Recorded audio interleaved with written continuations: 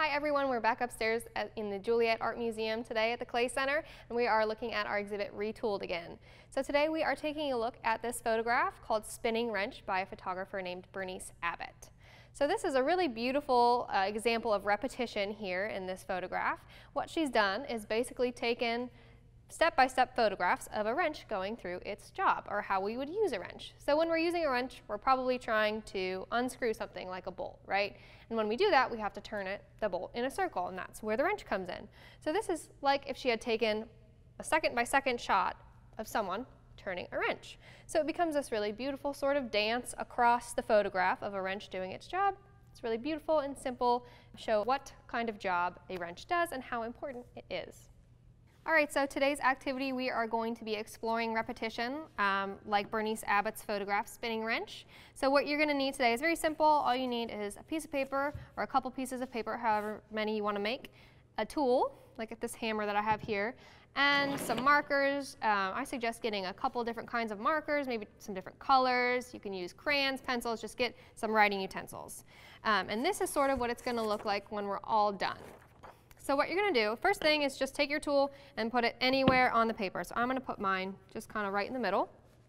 And I'm going to take my marker and carefully draw the outline of my tool.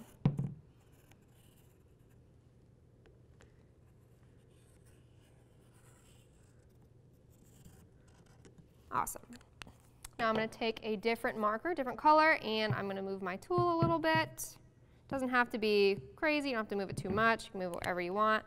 Take your new writing utensil and trace it again.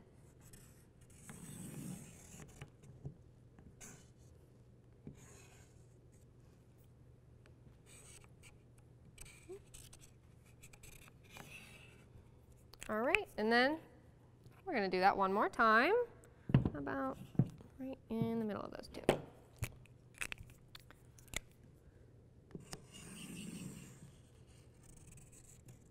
And you don't have to keep a solid line every time you trace. You can try using dashed lines or dotted lines, skinny lines, thick lines, whatever you want to do. Honestly, the more kinds of lines you use, uh, the different kinds of markers, different writing utensils, the cooler this will look at the end. So I'm just going to leave it there for right now. But what you're going to want to do after you have as many outlines as you want in all the different kinds of colors or line styles you have, start looking for the shapes that these outlines make as they overlap each other, and we're going to color some of them in and see what that does to the composition. So I'm going to color this middle one in here.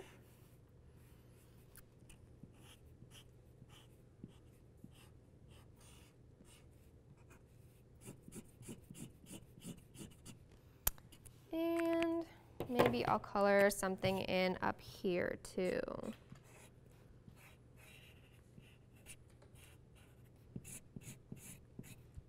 And again, you can do this as many times as you'd like or as few times as you like.